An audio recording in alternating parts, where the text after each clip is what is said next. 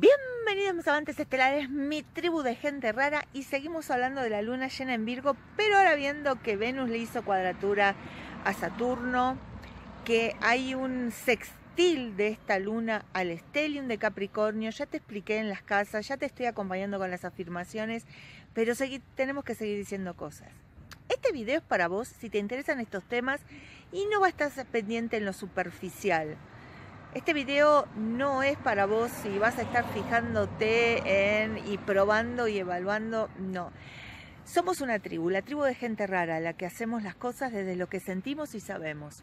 Soy Marecía Nefe, profesora de matemática y astronomía, astróloga, investigadora en ciencias ocultas, coach astral cuántica que me dedico para que todo este conocimiento que investigué durante 40 años, más todos mis estudios académicos, tengan un solo propósito, despertar.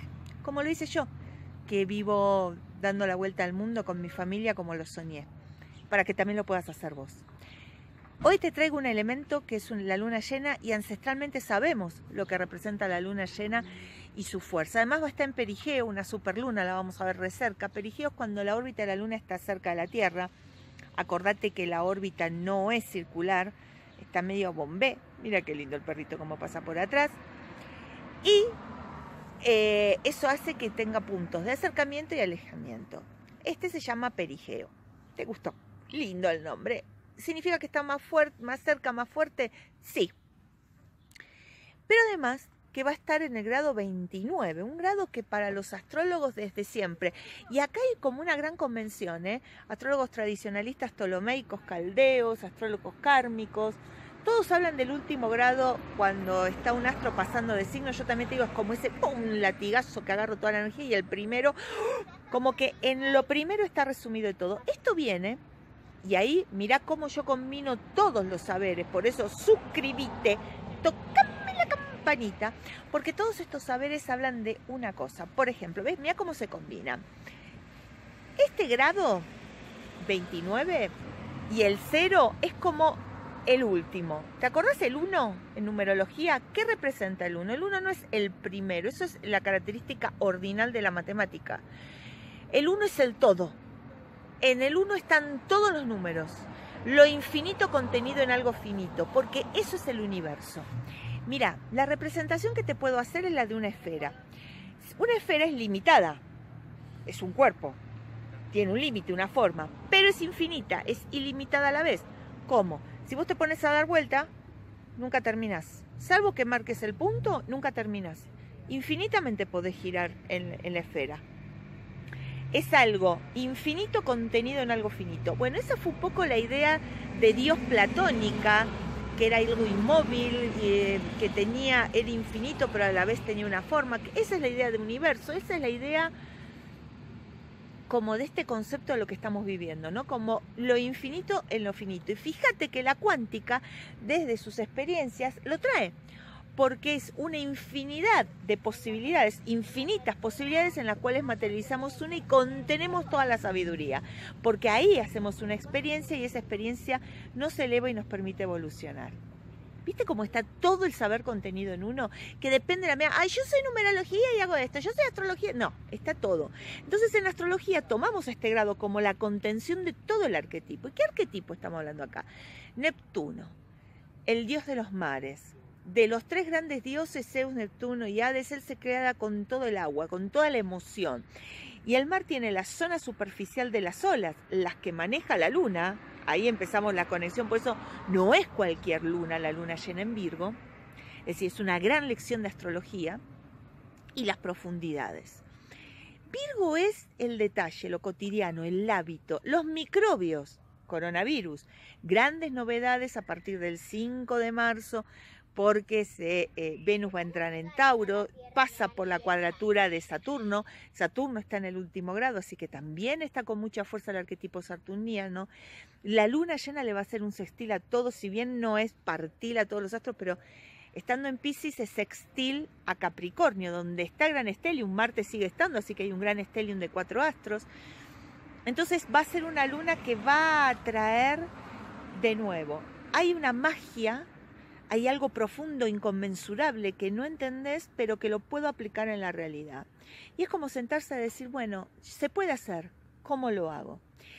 En esto de, en esta cuadratura de, y este paso de Venus después a Tauro, esta luna llena que va a traer todo lo que tenga que ver con la salud y la higiene, coronavirus, especialmente los microbios, es decir, lo pequeño, porque Virgo se fija en lo pequeño, la señora sale en la tele. Un aplauso para la señora. ¿Sí? Muy bien. bien. En eso pequeño, eh, nos va a traer novedades de lo que vamos a hacer. El perro, ¿viste? El perro dijo, ah, acá abuelo, canal famoso. ¿Sos creíste tocar la campanita? Y pone un corazoncito al perro. Ya que estamos. Entonces, divertámonos un poco. Este realismo, esto de querer empezar a decir, espera, espera, ¿es para tanto? Con higiene, ¿qué es lo que necesito? Eh, ¿Qué significa? ¿Qué nos trajo de miedo este virus? ¿Qué posición tomamos? ¿Nos están controlando? Porque Saturno también tiene que ver con la autoridad. ¿Nos están controlando con esto de la enfermedad? ¿Me están trayendo miedo y con eso me manejan? Ojo al piojo.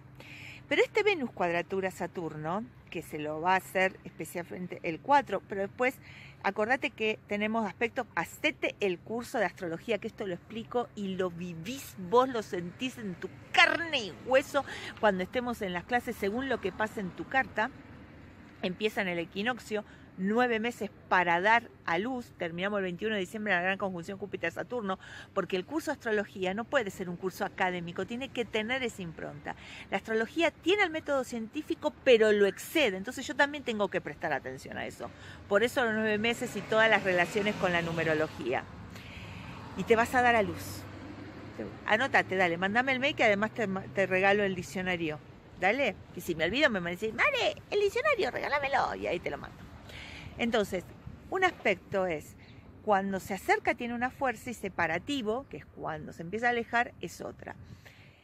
Es cierto, es menor, pero lo vas a sentir. Y es en Aries y de Aries va Tauro, es decir, de un lugar donde está súper incómodo, pero incómodo, no incómodo de fastidio, incómodo de inquietud, va hacia, ay, la seguridad, el relax, el placer efímero, superfluo, pero que tan bien me hace.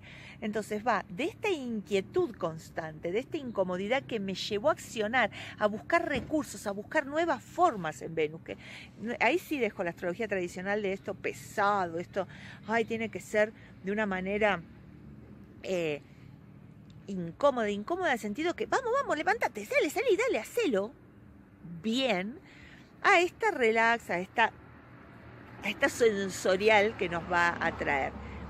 Ahora bien, esta, eh, esta luna llena, que viene con todos estos aspectos, este Venus, también le hizo cuadratura no solo a Saturno, sino también al sextil, ¿no? Como diciendo que fuimos un poco irreales.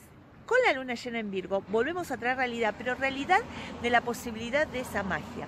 Y además que eh, Neptuno y todo lo que es Virgo también hablan de esto luminoso en cuanto a los hábitos, en cuanto a sentirnos.